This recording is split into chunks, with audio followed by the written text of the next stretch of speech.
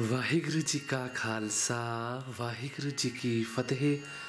ਆਪ ਸਾਰਿਆਂ ਦਾ ਮੇਰੇ YouTube ਚੈਨਲ ਸਨਾਮ ਸਿੰਘ ਖਾਲਸਾ ਤੇ ਸਵਾਗਤ ਹੈ ਜੀ। ਅੱਜ ਅਸੀਂ ਇਸ ਵੀਡੀਓ ਵਿੱਚ ਤਬਲੇ ਦੀ ਤੀਨ ਤਾਲ ਬਾਰੇ ਜਾਣਕਾਰੀ ਲਵਾਂਗੇ। ਮੇਰੇ ਬਹੁਤ ਹੀ ਵੀਰਾਂ ਦਾ, ਭੈਣਾਂ ਦਾ, ਜਿਹੜੇ ਕਲਾਸੀਕਲ ਸਿੱਖਦੇ ਹਨ, ਗੁਰਮਤ ਸੰਗੀਤ ਸਿੱਖ ਰਹੇ ਹਨ, ਉਹਨਾਂ ਦਾ ਮੈਨੂੰ ਮੈਸੇਜ ਆ ਰਿਹਾ ਸੀ ਕਿ ਸ਼ਬਦ ਦੇ ਨਾਲ ਨਾਲ ਕਲਾਸੀਕਲ ਜੋ ਤੁਸੀਂ ਗੁਰਮਤ ਸੰਗੀਤ ਸਿਖਾ ਰਹੇ ਹੋ, ਉਹਦੇ ਨਾਲ ਨਾਲ ਤਾਲ ਦਾ ਵੀ ਸਾਨੂੰ ਗਿਆਨ ਦਿੱਤਾ ਜਾਵੇ। ਇਸ ਲਈ ਮੈਂ ਉਹਨਾਂ ਸਾਰੇ ਵੀਰਾਂ ਲਈ, ਭੈਣਾਂ ਲਈ ਜਿਹੜੇ ਆਪਣੇ ਉਸਤਾਦ ਜੀ ਕੋਲੋਂ ਸਿੱਖ ਰਹੇ ਹਨ ਜਾਂ ਮੇਰੇ ਕੋਲੋਂ ਆਨਲਾਈਨ ਕੀਰਤਨ ਕਲਾਸਿਸ ਲੈ ਰਹੇ ਹਨ, ਉਹਨਾਂ ਸਾਰੇ ਵੀਰਾਂ, ਭੈਣਾਂ ਦਾ ਬਹੁਤ ਸਾਰੇ ਕੁਐਸਚਨ ਹਨ ਜਿਹੜੇ ਇਸ ਵੀਡੀਓ ਵਿੱਚ ਤਾਲ ਦੇ ਨਾਲ ਸੰਬੰਧਿਤ ਹਨ, ਉਹ ਸਾਡੇ ਸਾਰੇ ਹੀ ਕਲੀਅਰ ਕੀਤੇ ਜਾਣਗੇ। ਸਭ ਤੋਂ ਪਹਿਲਾਂ ਤੀਨ ਤਾਲ ਦੇ ਬੋਲ ਮੈਂ ਤੁਹਾਨੂੰ, ਮੈਂ ਇੱਕ ਪੇਪਰ ਤੇ ਲਿਖਿਆ ਹੈ, ਤੁਸੀਂ ਇਸ ਨੂੰ ਦੇਖ ਲਓ। ਤਬਲੇ ਦੀ ਤੀਨ ਤਾਲ। ਅਕਸਰ ਆਪਾਂ ਇਸ ਵਿੱਚ ਰਾਗ ਕੀਤੇ ਹੁੰਦੇ ਆ। ਦਰਬਾਰ ਸਾਹਿਬ ਵੀ ਜਦੋਂ ਰਾਗੀ ਸਿੰਘ ਕੀਰਤਨ ਕਰਦੇ ਹਨ, ਤਾਂ ਸਭ ਤੋਂ ਪਹਿਲਾਂ ਉਹ ਤੀਨ ਤਾਲ ਦਾ ਇੱਕ ਸ਼ਬਦ ਜ਼ਰੂਰ ਲਗਾਉਂਦੇ ਹਨ। ਦੇਖੋ ਜੀ, ਤੁਸੀਂ ਇਸ ਨੂੰ ਆਪਣੀ ਕਾਪੀ ਤੇ ਉਤਾਰਨਾ ਹੈ ਪਹਿਲਾਂ ਤਾਂ। ਪਹਿਲਾਂ ਤੁਸੀਂ ਇਸ ਨੂੰ ਉਤਾਰ ਲੈਣਾ ਹੈ, ਠੀਕ ਹੈ ਜੀ, ਦੇਖ ਕੇ ਬਾਅਦ ਵਿੱਚ। ਤਬਲੇ ਦੀ ਤੀਨ ਤਾਲ ਤੀਨ ਤਾਲ 16 ਮਾਤਰਾ ਦਾ ਤਾਲ ਹੈ, ਠੀਕ ਹੈ ਜੀ? ਤਬਲੇ ਦੀ ਇਹ ਪ੍ਰਚਲਿਤ ਤਾਲ ਛੋਟੇ ਖਿਆਲਾਂ ਵਿੱਚ ਅਤੇ ਸ਼ਬਦਾਂ ਦੀਆਂ ਬੰਦਸ਼ਾਂ ਵਿੱਚ ਵੀ ਪ੍ਰਯੋਗ ਹੁੰਦੀ ਹੈ, ਤਬਲੇ ਦੀ ਤੀਨ ਤਾਲ, ਪ੍ਰਚਲਿਤ ਤਾਲ, ਕਿਉਂਕਿ ਪ੍ਰਚਲਿਤ ਇਸ ਲਈ ਹੈ ਕਿਉਂਕਿ ਅਕਸਰ ਜਿੰਨੇ ਵੀ ਸਟੂਡੈਂਟਸ ਹਨ ਜਦੋਂ ਸ਼ੁਰੂ ਕਰਦੇ ਹਨ, ਸਾਡੇ ਉਸਤਾਦ ਲੋਕ ਸਾਨੂੰ ਪਹਿਲਾਂ ਤੀਨ ਤਾਲ ਦੇ ਵਿੱਚ ਬਹੁਤ ਸੌਖੀਆਂ ਬੰਦਸ਼ਾਂ ਸ਼ੁਰੂ ਕਰਵਾਉਂਦੇ ਹਨ। ਤਬਲੇ ਦੀ ਤੀਨ ਤਾਲ ਵਿੱਚ 16 ਮਾਤਰਾ ਹੁੰਦੀਆਂ ਹਨ। ਦੇਖੋ ਜੀ 16 ਮਾਤਰਾ। ਤੁਸੀਂ ਜਦੋਂ ਵੀ ਕੋਈ ਬੰਦਿਸ਼ ਕਰਦੇ ਹੋ, ਉੱਤੇ 1 2 3 4 5 6 ਇਸ ਤਰ੍ਹਾਂ ਕਰਕੇ ਲਿਖਿਆ ਹੁੰਦਾ ਹੈ। ਨਾਲ ਲਾਈਨਾਂ ਲਗਾਈਆਂ ਹੁੰਦੀਆਂ ਇਸ ਤਰ੍ਹਾਂ। ਬੜੇ ਵੀਰਾਂ ਦਾ ਕੁਐਸਚਨ ਹੁੰਦਾ ਹੈ। 1 2 3 ਦਾ ਮਤਲਬ ਕੀ ਹੈ? ਅੱਜ ਆਪਾਂ ਇਹੀ ਸਮਝਾਂਗੇ। ਉੱਤੇ ਜਿਹੜਾ ਲਿਖਿਆ ਹੁੰਦਾ ਹੈ, ਗਿਣਤੀ ਲਿਖੀ ਹੁੰਦੀ ਹੈ। ਕਿਸੇ ਵਿੱਚ 12 ਤੱਕ ਲਿਖੀ ਹੁੰਦੀ ਹੈ। ਜਿਹੜੀ ਏਕ ਤਾਲ ਦੇ ਵਿੱਚ ਹੋਵੇ, ਜਿਹੜੀ ਚੱਪ ਤਾਲ ਹੈ, ਉਹ 10 ਤੱਕ ਹੁੰਦੀ ਹੈ। ਠੀਕ ਹੈ ਜੀ? ਦਾਦਰਾ ਤਾਲ 6 ਤੱਕ ਹੁੰਦੀ ਹੈ, ਕਹਿਰਵਾ ਤਾਲ 8 ਤੱਕ ਹੁੰਦੀ ਹੈ, ਉਸ ਵਿੱਚ 8 ਮਾਤਰਾ ਤੱਕ ਗਿਣਤੀ ਲਿਖੀ ਹੁੰਦੀ ਹੈ। ਤੀਨ ਤਾਲ ਜਦੋਂ ਵੀ ਆਏਗੀ, ਜਿੱਥੇ ਲਿਖਿਆ ਹੋਵੇਗਾ ਤੀਨ ਤਾਲ ਵਿੱਚ ਬੰਦਿਸ਼, ਠੀਕ ਹੈ? ਤੀਨ ਤਾਲ। ਤਾਂ ਸਮਝ ਲਓ 16 ਮਾਤਰਾ ਦਾ ਤਾਲ ਹੈ 16 ਮਾਤਰਾ, ਠੀਕ ਹੈ? ਇਦਾਂ ਕਰਕੇ ਲਿਖੋਗੇ, ਤੀਨ ਤਾਲ 16 ਮਾਤਰਾ ਦਾ ਤਾਲ ਹੁੰਦਾ ਹੈ। ਦੇਖੋ ਜੀ 1 2 3 4 5 6 7 8 9 10 11 12 13 14 15 16 ਇਹਨੂੰ ਇਸ ਤਰ੍ਹਾਂ ਤੁਸੀਂ ਆਪਣੀ ਕਾਪੀ ਤੇ ਲਿਖਣਾ ਹੈ, ਬਰਾਬਰ ਵੰਡ ਕਰਕੇ, ਠੀਕ ਹੈ ਜੀ? ਚਾਰ ਵਿਭਾਗ ਹੁੰਦੇ ਹਨ। 16 ਮਾਤਰਾ ਦੇ, ਤੀਨ ਤਾਲ ਦੇ ਚਾਰ ਵਿਭਾਗ ਹੁੰਦੇ ਹਨ, ਦੇਖੋ। ਇੱਕ ਇੱਕ ਵਿਭਾਗ ਆਹ ਲਾਈਨ ਤੋਂ ਪਹਿਲਾਂ ਇਹ ਲਾਈਨ ਦੇ ਵਿਚਕਾਰ ਜਿਹੜਾ ਠੀਕ ਹੈ। ਦੂਸਰਾ ਵਿਭਾਗ 5 ਤੋਂ 8 ਦੇ ਵਿੱਚ 9 ਤੋਂ 12 ਦੇ ਵਿੱਚ ਤੀਸਰਾ ਵਿਭਾਗ 13 ਤੋਂ 16 ਦੇ ਤੱਕ ਚੌਥਾ ਵਿਭਾਗ। ਠੀਕ ਹੈ ਜੀ, ਇਹਨੂੰ ਵੰਡ ਕੀਤੀ ਹੈ ਉਸਤਾਦਾਂ ਨੇ। ਇਹ ਚਾਰ ਵਿਭਾਗ ਹੋ ਗਏ ਹਨ। 1 2 3 4 ਠੀਕ ਹੈ ਜੀ, ਚਾਰ ਵਿਭਾਗ ਹੁੰਦੇ ਹਨ। ਚਾਰ ਚਾਰ ਮਾਤਰਾ ਦੇ ਵਿਭਾਗ ਹੁੰਦੇ ਹਨ। ਚਾਰ ਚਾਰ ਮਾਤਰਾ ਦੇ ਵਿਭਾਗ ਹੁੰਦੇ ਹਨ। ਦੇਖੋ ਚਾਰ ਚਾਰ ਮਾਤਰਾ ਦੇ ਵਿਭਾਗ ਹੈਗੇ ਆ। 1 2 3 4 ਇਹ ਇੱਕ ਇੱਕ ਵਿਭਾਗ ਵਿੱਚ ਹੋ ਗਏ ਹੈ ਨਾ ਇੱਕ ਵਿਭਾਗ ਦੇ ਵਿੱਚ ਚਾਰ ਮਾਤਰਾ ਹੋ ਗਈਆਂ ਹਨ।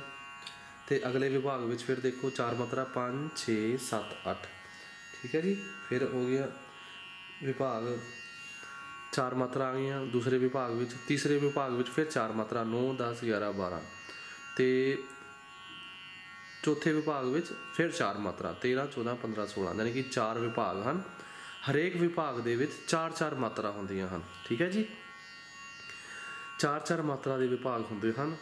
ਪਹਿਲੀ, ਪੰਜਵੀਂ ਅਤੇ 13ਵੀਂ ਤੁਸੀਂ ਸਾਹਮਣੇ ਮੈਂ ਲਿਖਿਆ ਹੈ, ਦੇਖੋ।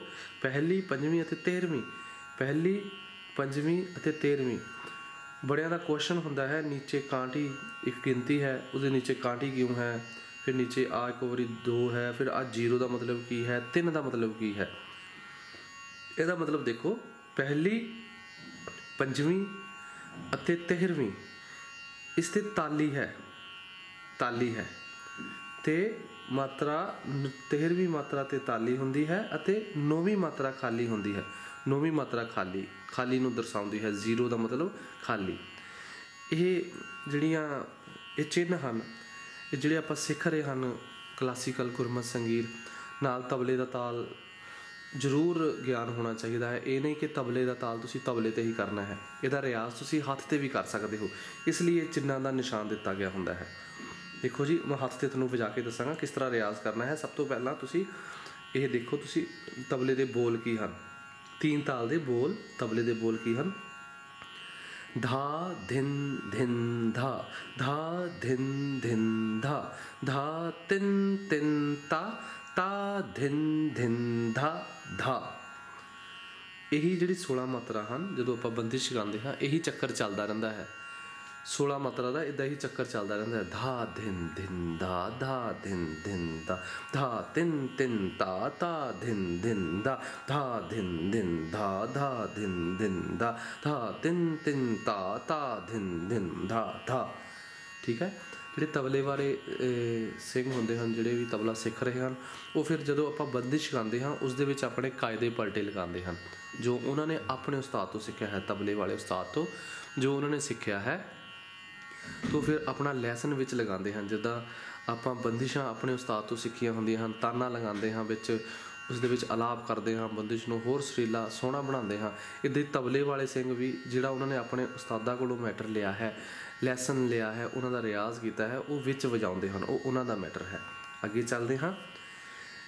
ਇਹ ਜਿਹੜੀ ਤਾਲ ਹੈ, ਤੁਸੀਂ ਇਸ ਦਾ ਰਿਆਜ਼ ਕਿਸ ਤਰ੍ਹਾਂ ਕਰਨਾ ਹੈ? ਹੱਥ ਤੇ। ਜਿਹੜੇ ਤਬਲੇ ਦੀ ਤਾਲ ਇਹ ਤੀਨ ਤਾਲ ਅਹ, ਤਬਲੇ ਤੇ ਵਜਾ ਲੈਂਦੇ ਹਨ। ਬਹੁਤ ਵਧੀਆ ਗੱਲ ਹੈ ਜਿਹੜੇ ਨਹੀਂ ਵਜਾ ਸਕਦੇ ਉਹਨਾਂ ਨੇ ਇਸ ਦਾ ਰਿਆਜ਼ ਕਿਸ ਤਰ੍ਹਾਂ ਕਰਨਾ ਹੈ ਹੱਥ ਤੇ ਮੈਂ ਤੁਹਾਨੂੰ ਉਹ ਕਰਕੇ ਦੱਸਾਂਗਾ। ਸਭ ਤੋਂ ਪਹਿਲਾਂ ਤੁਸੀਂ ਆਪਣਾ ਹੱਥ ਇਸ ਤਰ੍ਹਾਂ ਰੱਖਣਾ ਹੈ ਸਮ ਤੇ ਇੱਕ ਨੰਬਰ। ਇੱਥੇ ਤੁਸੀਂ ਤਾਲੀ ਦੇਣੀ ਹੈ ਠੀਕ ਹੈ ਨਾ? ਤਾਲੀ ਮਤਲਬ ਇਸ ਤਰ੍ਹਾਂ ਕਰਨਾ ਹੈ। ਧਾ। ਬੋਲ ਯਾਦ ਕਰ ਲੈਣੇ ਹੈ ਪਹਿਲਾਂ ਬੋਲ ਯਾਦ ਕਰਨੇ ਨੇ ਤੁਸੀਂ। ਧਾ ਦਿਨ ਦਿਨ ਦਾ ਇਹ ਇਹ ਸ਼ਬ- ਬੋਲਾਂ ਨੂੰ ਤੁਸੀਂ ਯਾਦ ਕਰ ਲੈਣਾ ਹੈ। ਦੁਬਾਰਾ ਦੁਬਾਰਾ ਬੋਲ ਕੇ ਇਸ ਨੂੰ ਯਾਦ ਕਰਕੇ ਫਿਰ ਤੁਸੀਂ ਹੱਥ ਤੇ ਪ੍ਰੈਕਟਿਸ ਕਰਨੀ ਹੈ, ਯਾਦ ਰੱਖਣਾ ਹੈ। ਪਹਿਲੀ ਤੇ ਪੰਜਵੀਂ ਤੇ ਨੌਵੀਂ ਤੇ ਖਾਲੀ ਹੈ ਤੇ 13ਵੀਂ ਤੇ। ਇੱਥੇ ਤਾਲੀ ਵਜਾਣੀ ਹੈ, ਦੇਖੋ।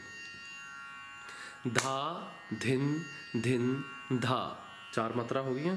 ਦੂਸਰੀ, ਤੀਸਰੀ, ਚੌਥੀ ਮਾਤਰਾ ਤੇ ਤੀਸਰੀ ਉਂਗਲ, ਦੂਸਰੀ ਉਂਗਲ ਤੇ ਪਹਿਲੀ ਉਂਗਲ। ਇਸ ਤਰ੍ਹਾਂ ਹੀ ਚੱਲੇਗਾ ਸਾਰਾ, ਠੀਕ ਹੈ ਜੀ? ਇਸ ਤਰ੍ਹਾਂ ਰੱਖਣੀ ਹੈ। ਧਾ ਧਿਨ ਧਿਨ ਧਾ।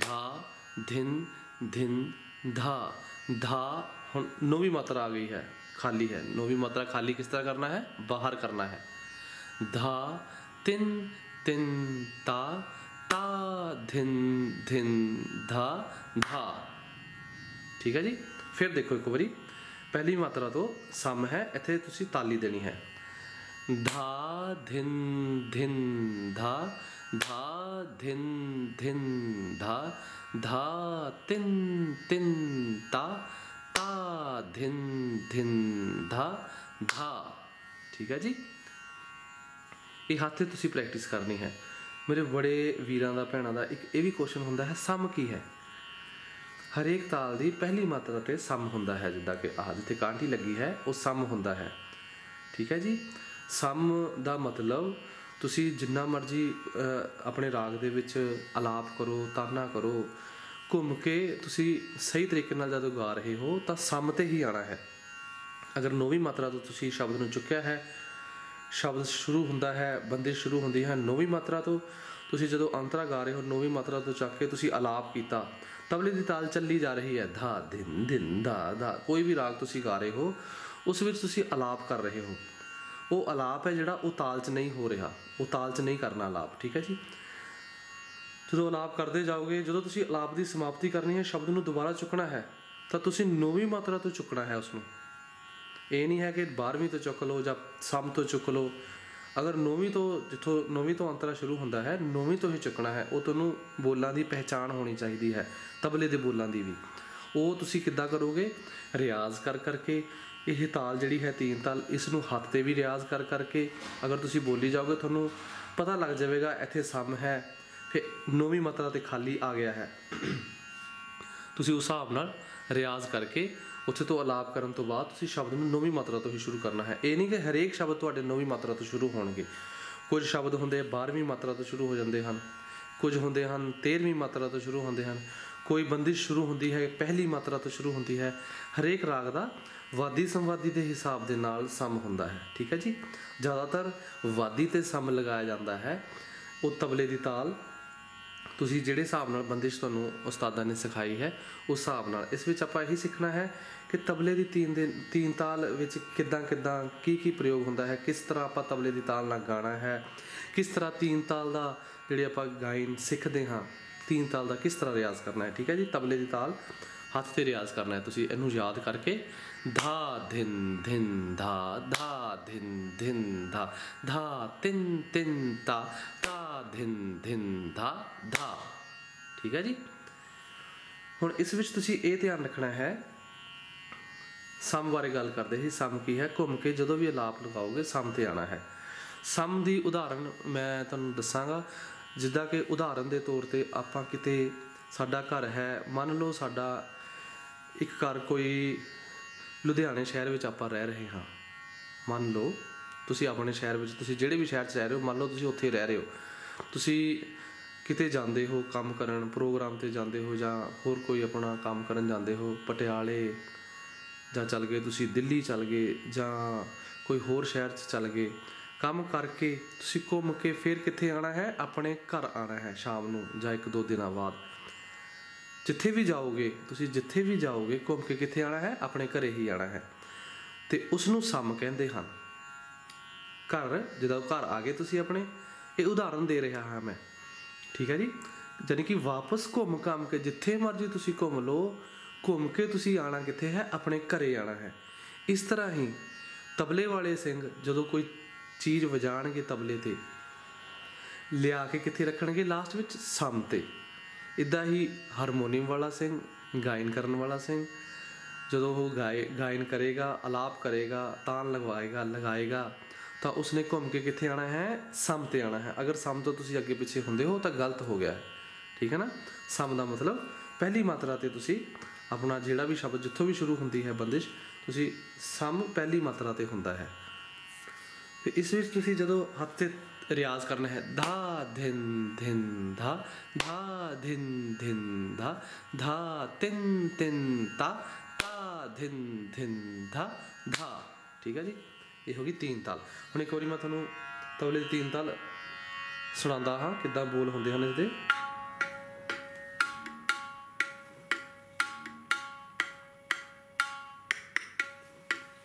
धा धिन धिन धा धा धिन धिन धा धा तिन तिन ता ता धिन धिन ਧਾ ਧਾ ਠੀਕ ਹੈ ਜੀ ਇਹ ਤਬਲੇ ਦੇ ਬੋਲ ਤੁਸੀਂ ਸੁਣੇ ਹਨ ਹੁਣੇ ਹੁਣ ਜਦੋਂ ਆ ਤੁਸੀਂ ਰਿਆਜ਼ ਕਰਨਾ ਹੈ ਹੱਥ ਤੇ ਤੇ ਇਸ ਵਿੱਚ ਇੱਕ ਚੀਜ਼ ਦਾ ਬਹੁਤ ਜ਼ਰੂਰੀ ਧਿਆਨ ਰੱਖਣਾ ਹੈ ਇੱਕ ਤੋਂ ਦੋ ਜਾਨੀ ਕਿ ਜਦੋਂ ਤੁਸੀਂ ਧਾ ਧਿਨ ਧਿਨ ਧਾ ਇਹਦੀ ਜਿਹੜੀ ਇਸ ਦੇ ਵਿੱਚ ਸਮਾਂ ਹੈ 1 ਤੋਂ 2 ਦੇ ਵਿਚਕਾਰ, ਜਿਹੜਾ ਤੁਸੀਂ ਸਮਾਂ ਸਮਾਂ ਲਿਆ ਹੈ। 1 ਸਕਿੰਟ ਦਾ ਸਮਾਂ ਲਿਆ ਹੈ, ਜੇ ਤੁਸੀਂ ਧਾ ਧਿਨ ਧਿਨ, ਧਾ ਧਾ ਉਹ ਸਮਾਂ ਸਾਰਿਆਂ ਦੇ ਵਿੱਚ, ਸਾਰੇ ਮਾਤਰਾ ਦੇ ਵਿੱਚ ਬਰਾਬਰ ਰਹਿਣਾ ਚਾਹੀਦਾ ਹੈ। ਅਗਰ ਤੁਸੀਂ ਇਸ ਵਿੱਚ ਸਮਾਂ ਕੋਈ ਹੋਰ ਰੱਖਿਆ ਹੈ, ਇਸ ਵਿੱਚ 2 ਤੋਂ 1 ਤੋਂ 2 ਦੇ ਵਿੱਚ ਵਿਚਕਾਰ ਜਿਹੜਾ ਸਮਾਂ ਹੈ, ਉਹ ਹੈ 1 ਸਕਿੰਟ ਦਾ। ਮੰਨ ਲਓ 2 ਤੋਂ 3 ਦੇ ਵਿੱਚ ਤੁਸੀਂ ਉਹ 1.5 ਸਕਿੰਟ ਦਾ ਸਮਾਂ ਕਰ ਦਿੱਤਾ ਹੈ। ਠੀਕ ਹੈ ਜੀ 3 ਤੋਂ 4 ਦੇ ਵਿੱਚ ਸਮਾਂ ਫਿਰ ਚੇਂਜ ਕਰ ਲਿਆ ਹੈ। 5 ਤੋਂ 6 ਜੇ ਫਿਰ ਇੱਕ ਸਕਿੰਟ ਦਾ, ਉਹ ਗਲਤ ਹੋ ਜਾਏਗੀ ਤਾਲ। ਇਸ ਤਰ੍ਹਾਂ? ਗਲਤ ਦੇਖੋ ਰਿਆਜ਼ ਕਿੱਦਾਂ ਹੁੰਦਾ ਹੈ। ਧਾ ਧਿਨ ਧਿਨ ਧਾ ਧਾ ਧਿਨ ਧਿਨ ਧਾ ਧਾ, ਤਿਨ ਤਿਨ ਤਾ ਇਹ ਗਲਤ ਰਿਆਜ਼ ਹੈ। ਠੀਕ ਹੈ ਨਾ? ਇਸ ਤਰ੍ਹਾਂ ਨਹੀਂ ਰਿਆਜ਼ ਕਰਨਾ ਹੈ। ਇੱਕ ਲੈ ਦੇ ਵਿੱਚ ਕਰਨਾ ਹੈ। ਇੱਕ ਲੈ ਦੇ ਵਿੱਚ ਕਰਨਾ ਹੈ। ਪਹਿਲਾਂ ਤੁਸੀਂ ਇਹੀ ਯਾਦ ਕਰਨਾ ਹੈ। ਦੇਖੋ, ਸਮਝਣਾ ਹੈ ਇਸ ਚੀਜ਼ ਨੂੰ।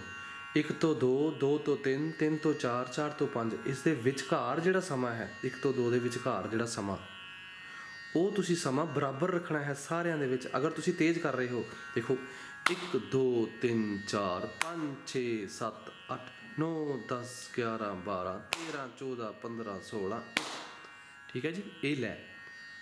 ਇਹ ਲੈ ਦੇ ਵਿੱਚ ਕਰੋਗੇ ਤਾਂ ਤੁਹਾਡੀ ਲੈ ਬਰਾਬਰ ਚੱਲਣੀ ਚਾਹੀਦੀ ਅਗਰ ਤੁਸੀਂ ਹੋਰ ਤੇਜ਼ ਕਰਦੇ ਹੋ, ਧਾ ਧਿਨ ਧਿਨ ਧਾ ਧਾ ਧਿਨ ਧਿਨ ਧਾ ਧਾ ਤਿਨ ਤਿਨ ਤਾ ਤਾ ਧਿਨ ਧਿਨ ਧਾ ਧਾ।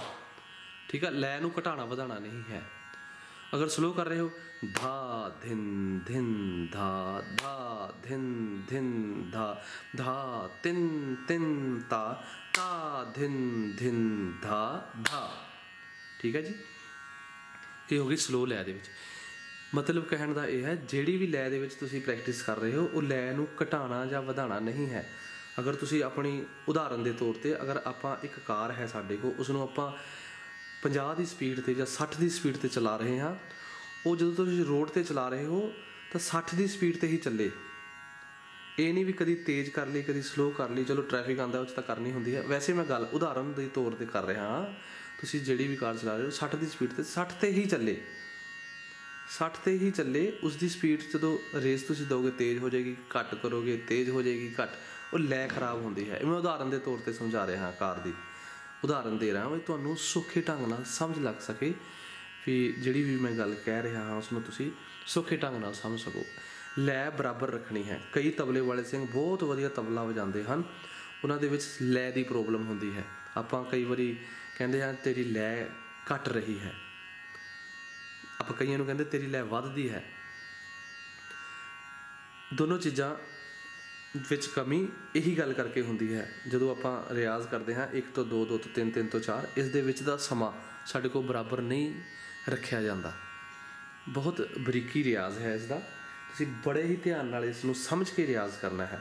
ਅਗਰ ਤੁਸੀਂ ਇੱਥੇ ਗਲਤ ਰਿਆਜ਼ ਕਰ ਲਿਆ, ਤਾਂ ਤੁਹਾਡੇ ਜਿਹੜੇ ਬੰਦਸ਼ਾ ਹੈ, ਤੁਹਾਡੀ ਲੈ ਹੈ, ਉਹ ਘਟਦੀ ਵੱਧਦੀ ਜਾਵੇਗੀ, ਉਹ ਸੈੱਟ ਨਹੀਂ ਆਵੇਗੀ। ਅਗਰ ਤੁਸੀਂ ਇਸ ਦਾ ਗਲਤ ਰਿਆਜ਼ ਕੀਤਾ, ਇਸ ਲਈ ਤੁਸੀਂ ਇਸ ਨੂੰ ਪ੍ਰੋਪਰ ਰਿਆਜ਼ ਕਰਨਾ ਹੈ, ਸਮਝ ਕੇ ਰਿਆਜ਼ ਕਰਨਾ ਹੈ। ਇਹ ਜਿਹੜੀ ਲੈ ਵਾਲੀ ਗੱਲ ਹੈ, ਹਰੇਕ ਤਾਲ ਦੇ ਵਿੱਚ ਇਹ ਕੰਮ ਆਏਗੀ ਤੁਹਾਡੇ। ਇਹ ਨਹੀਂ ਕਿ ਤਿੰਨ ਤਾਲ ਦੇ ਵਿੱਚ ਹੀ ਕੰਮ ਆਏਗੀ।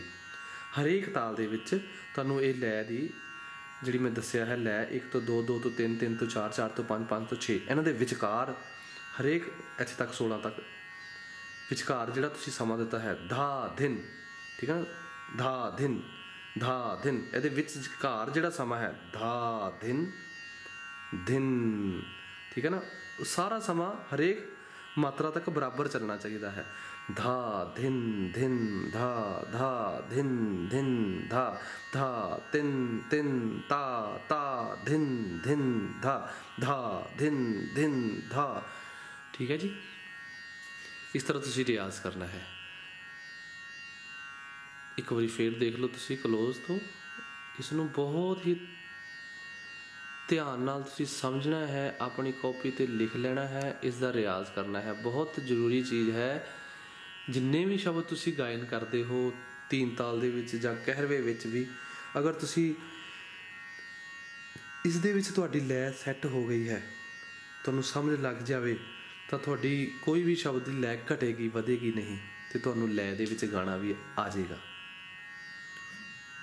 ਤੀਨ ਤਾਲ ਹੈ, ਇਦਾਂ ਹੀ ਏਕ ਤਾਲ ਹੈ, ਉਹਦੇ ਵਿੱਚ ਵੀ ਸਮ ਹੈ, ਅਲੱਗ-ਅਲੱਗ ਥਾਂ ਤੇ ਮਾਤਰਾ ਤੇ ਤਾਲੀ ਹੈ, ਏਕ ਤਾਲ ਹੈ ਚੱਪ ਤਾਲ ਹੈ, ਕਹਿਰਵਾ ਤਾਲ ਹੈ, ਰੂਪਕ ਤਾਲ ਹੈ, ਦਾਦਰਾ ਤਾਲ ਹੈ, ਉਹ ਸਾਰੀਆਂ ਤਾਲਾਂ ਬਾਰੇ ਵੀ ਆਪਾਂ ਜਾਣਕਾਰੀ ਲਵਾਂਗੇ। ਸਲੋ ਸਲੋ ਪਹਿਲਾਂ ਤੁਸੀਂ ਇਸ ਤਾਲ ਨੂੰ ਸਮਝਣਾ ਹੈ। ਆਪਣੀ ਬੰਦਿਸ਼ ਦੇ ਉੱਤੇ ਗਿਣਤੀ ਕਿਉਂ ਲਿਖੀ ਹੁੰਦੀ ਹੈ? 1 2 3 4 ਉਹ ਤਾਲ ਨਾਲ ਸੰਬੰਧਿਤ ਹੁੰਦੀ ਹੈ, ਠੀਕ ਹੈ ਨਾ? ਸਾਰੀਆਂ ਜਿੰਨੀਆਂ ਵੀ ਬੰਦਿਸ਼ਾਂ ਆਪਾਂ ਕਰਦੇ ਹਾਂ ਇਦਾਂ ਗਿਣਤੀ ਲੈ ਕੇ ਉਹਦੇ ਨੀਚੇ ਹਰੇਕ ਮਾਤਰਾ ਨੀਚੇ ਸਰਗਮ ਲਿਖੀ ਹੁੰਦੀ ਹੈ, ਠੀਕ ਹੈ ਨਾ? ਤੁਸੀਂ ਦੇਖੋ ਬੰਦਿਸ਼ ਦੇ ਨੀਚੇ ਸਰਗਮ। ਉਹਨਾਂ ਦਾ ਮਤਲਬ ਹੈ ਵੀ ਆ ਮਾਤਰਾ ਦੇ ਨੀਚੇ ਆਹੀ ਸਰਗਮ ਬੋਲਣੀ ਹੈ। ਉਹ ਸਰਗਮ ਦੇ ਨੀਚੇ ਸ਼ਬਦ ਲਿਖਿਆ ਹੁੰਦਾ ਹੈ। ਉਹਦਾ ਮਤਲਬ ਉਹ ਸਰਗਮ ਜਦੋਂ ਤੁਸੀਂ ਕਰ ਲਈ ਹੈ, ਉਹ ਸਰਗਮ ਦੇ ਨੀਚੇ ਉਹੋ ਹੀ ਸ਼ਬਦ ਦਾ ਬੋਲ ਬੋਲਣਾ ਹੈ। ਉਹ ਬੰਦਿਸ਼ ਨੂੰ ਇੱਕ ਪਰੋਇਆ ਹੁੰਦਾ ਹੈ, ਜਿੱਦਾਂ ਆਪਾਂ ਇੱਕ ਧਾਗੇ ਦੇ ਵਿੱਚ ਇੱਕ ਇੱਕ ਮਣਕਾ ਮੋਤੀ ਪਾ ਕੇ ਉਸ ਨੂੰ ਪਰੋ ਦਿੰਦੇ ਹਾਂ ਉਸ ਦੀ ਮਾਲਾ ਬਣ ਜਾਂਦੀ ਹੈ। ਇਸ ਤਰ੍ਹਾਂ ਹੀ ਬੰਦਿਸ਼ ਨੂੰ ਸ਼ਬਦ ਨੂੰ ਇੱਕ ਤਾਲ ਦੇ ਵਿੱਚ, ਇੱਕ ਰਾਗ ਦੇ ਵਿੱਚ ਪਰੋਇਆ ਗਿਆ ਹੁੰਦਾ ਹੈ। ਲਾਈਨਾਂ ਮਾਰ ਕੇ ਜਦੋਂ ਆਪਾਂ ਇਸ ਨੂੰ ਲਿਖ ਕੇ ਰਿਆਜ਼ ਕਰਦੇ ਹਾਂ ਉਸ ਨੂੰ ਆਪਾਂ ਬੰਦਿਸ਼ ਕਹਿੰਦੇ ਹਾਂ, ਠੀਕ ਹੈ ਨਾ? ਰੀਤਾਂ ਤੁਸੀਂ ਕਰਦੇ ਹੋ, ਉਹ ਖੁੱਲੀਆਂ ਰੀਤਾਂ ਹੁੰਦੀਆਂ ਉਹਨਾਂ 'ਚ ਕਦੀ ਕਿਹੜਾ ਸਵਰ ਰਾਗ ਦੇ ਹਿਸਾਬ ਨਾਲ ਸਵਰ ਨਹੀਂ ਚੱਲਦੇ ਹਨ, ਉੱਪਰ ਥੱਲੇ ਲੱਗਦੇ ਰਹਿੰਦੇ ਹਨ ਸਵਰ। ਜਿਹੜੀ ਬੰਦਿਸ਼ ਹੁੰਦੀ ਹੈ, ਉਹ ਰਾਗ ਦੇ ਵਿੱਚ ਪ੍ਰੋਪਰ ਵਾਦੀ ਸਵਾਦੀ ਨੂੰ ਧਿਆਨ ਰੱਖ ਕੇ ਉਸ ਵਿੱਚ ਆਪਾਂ ਰਿਆਜ਼ ਕਰਦੇ ਹਾਂ, ਤਾਲ ਦੇ ਨਾਲ ਰਿਆਜ਼ ਕਰਦੇ ਹਾਂ। ਮੈਂ ਆਸ ਕਰਦਾ ਹਾਂ ਤੁਹਾਨੂੰ ਇਹ ਵੀਡੀਓ ਵਿੱਚ ਜਿਹੜੀ ਮੈਂ ਤਾਲ ਬਾਰੇ, ਤੀਨ ਤਾਲ ਬਾਰੇ ਇਹ ਦੱਸਿਆ ਹੈ, ਤੁਹਾਨੂੰ ਸਮਝ ਲੱਗ ਗਈ ਹੋਵੇਗੀ, ਤੁਸੀਂ ਇਸ ਨੂੰ ਲਿਖ ਲੈਣਾ ਹੈ, ਰਿਆਜ਼ ਕਰਨਾ ਹੈ ਤਾਲਾਂ ਦਾ। ਇਸ ਤਾਲ ਦਾ ਰਿਆਜ਼ ਕਰਨਾ ਹੈ, ਬਾਕੀ ਅਗਲੀਆਂ ਵੀਡੀਓਜ਼ ਵਿੱਚ ਆਪਾਂ ਹੋਰ ਤਾਲਾਂ ਬਾਰੇ ਵੀ ਜਾਣਕਾਰੀ ਲਵਾਂਗੇ, ਜਿਹੜੀਆਂ ਵੀ ਜ਼ਰੂਰੀ ਜ਼ਰੂਰੀ ਤਾਲਾਂ ਹਨ, ਆਪਾਂ ਸਿੱਖਣੀਆਂ ਹਨ, ਤੁਸੀਂ ਇਹਨਾਂ ਬੋਲਾਂ ਨੂੰ ਲਿਖ ਲੈਣਾ ਹੈ। ਆਪ ਸਾਰਿਆਂ ਨੇ ਮੇਰੇ ਇਸ YouTube ਚੈਨਲ ਸਨਾਮ ਸਿੰਘ ਖਾਲਸਾ ਨੂੰ ਸਬਸਕ੍ਰਾਈਬ ਕਰਨਾ ਹੈ ਅਤੇ ਆਪਣੇ ਸਾਰੇ ਹੀ ਦੋਸਤਾਂ ਮਿੱਤਰਾਂ ਨਾਲ ਸ਼ੇਅਰ ਕਰਨਾ ਹੈ, ਜਿਹੜੇ ਗੁਰਬਾਣੀ ਕੀਰਤਨ ਸਿੱਖਣਾ ਚਾਹੁੰਦੇ ਹਨ ਰਾਗਾਂ ਵਿੱਚ ਅਤੇ ਰੀਤਾਂ ਵਿੱਚ, ਉਹਨਾਂ ਸਾਰਿਆਂ ਨਾਲ ਇਸ ਚੈਨਲ ਨੂੰ ਸ਼ੇਅਰ ਕਰਨਾ ਹੈ ਤਾਂ ਜੋ ਸਾਰੀ ਹੀ ਸੰਗਤ ਕੀਰਤਨ ਕਰ ਸਕੇ ਅਤੇ ਸਾਰੀ ਹੀ ਸੰਗਤ ਫ੍ਰੀ ਵਿੱਚ ਕੀਰਤਨ ਸਿੱਖ ਸਕੇ ਜੀ। ਵਾਹਿਗੁਰੂ ਜੀ ਕਾ ਖਾਲਸਾ ਵਾਹਿਗੁਰੂ ਜੀ ਕੀ ਫਤਿਹ।